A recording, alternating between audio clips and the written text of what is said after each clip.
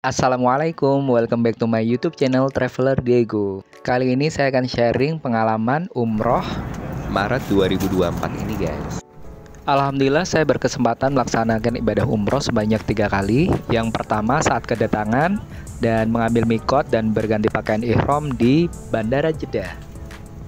Ini adalah suasana memasuki pesawat Saudi Airlines. Fasilitasnya lumayan bagus guys dan kali ini kebetulan dapat tempat duduk di depan.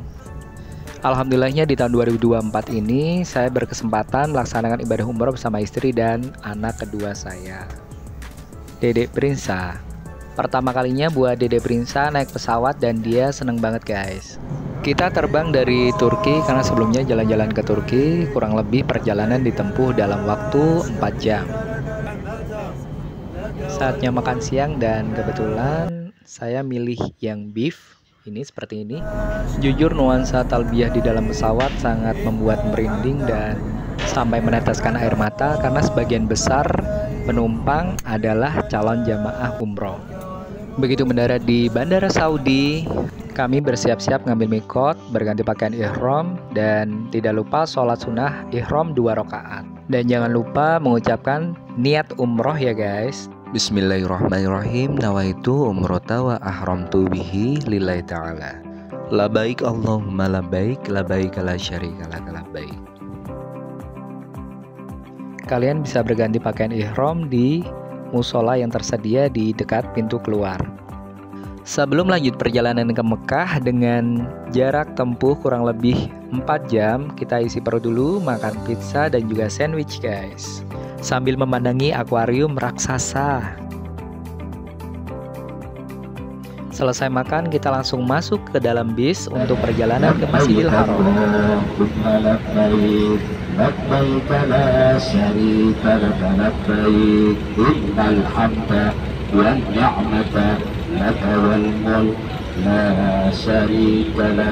لبيك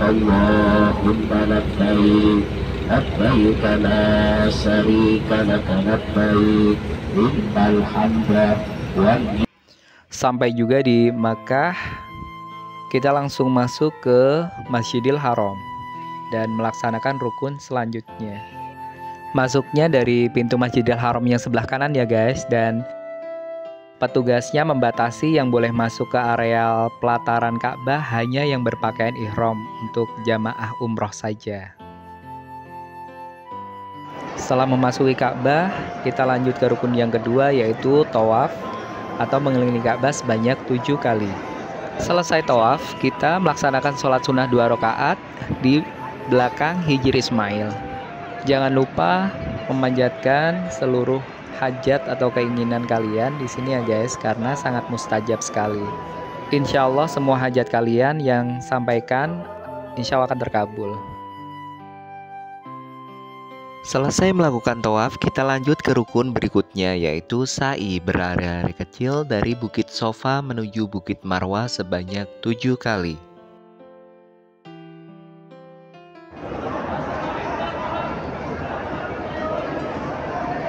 Apabila lelah, kalian bisa beristirahat sejenak dan minum air zam-zam di bagian tengah. Yang keempat adalah tahalul yaitu memotong sebagian rambut minimal tiga helai. Yang kelima tertib atau urut. Alhamdulillah kami sudah menyelesaikan umroh kami yang pertama dan memakan waktu kurang lebih 4 jam karena harus menggendong dedek Prinsa. Selesai melakukan ibadah umroh, kita perjalanan pulang menuju ke hotel. Nyampe hotel kita langsung bersih-bersih, mandi dan langsung istirahat tidur karena perjalanan yang cukup panjang dari Turki pagi hari dan selesai melakukan aktivitas umroh di pagi hari hampir 24 jam guys. Oke terima kasih. Untuk umroh yang kedua kita lanjut di part 2. Wassalamualaikum warahmatullahi wabarakatuh. Yang subscribe didoakan semoga masuk surga dan bisa umroh dan melaksanakan ibadah haji. Amin. Wassalamualaikum warahmatullahi wabarakatuh.